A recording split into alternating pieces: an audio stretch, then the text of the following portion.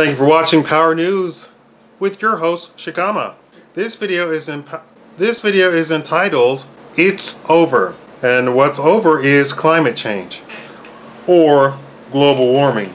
I apologize right now. I have no idea where to look at on this camera. I don't know to look on the lens, uh, below it. Anytime I try and look at a specific spot to look directly at you, uh, when I render it, it, I'm looking to the left, to the right, above, below. So I'll just I'll just look wherever I want to look. Okay, Al Gore, the high priest of anthropogenic global warming, AGW theory, has closed all of his Alliance for Climate Protection field offices and laid off 90% of his staff. Contributions have all but dried up since 2008. Australia's conservative government has severely curtailed the country's climate change initiatives and is in the process of repealing its business-killing carbon tax. A group of German scientists predicts dramatic global cooling over the next 90 years toward a new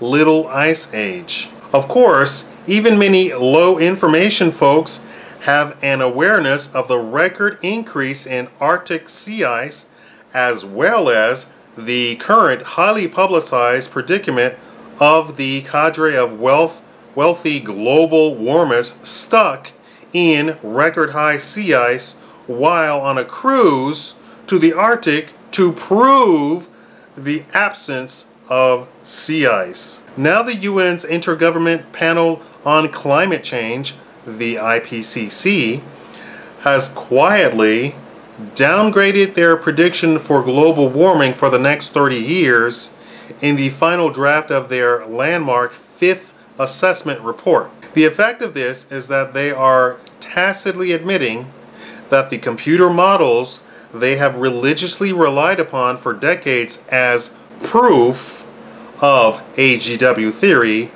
are dead wrong. So it is now all over. The NSA also came out uh, recently and said that the window for proving man-made global warming or AGW has closed as of this year because they had made a prediction uh, either it gets the ball rolling and in place within 10 years in 2004 or they will miss the window and the window is severely closed. This is Power News. Uh, leave a comment below. Uh, make sure you like the video and always subscribe and share the video. Share, share, share. Tell me what you think. Uh, and in light of the little ice age that's coming, are you afraid of that too?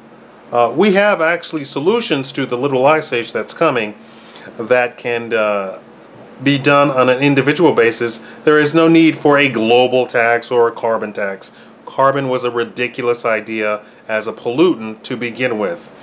If you do not know uh, anything about science or anything about climatology, as a greenhouse gas, water vapor comprises 70% of the greenhouse gases. Carbon only comprises less than 1%.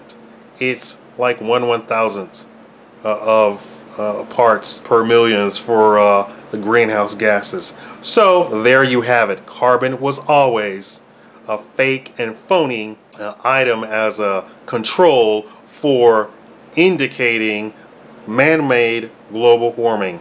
And besides, volcanoes and other things uh, spew far more carbon into the atmosphere than man could ever. Thank you for watching.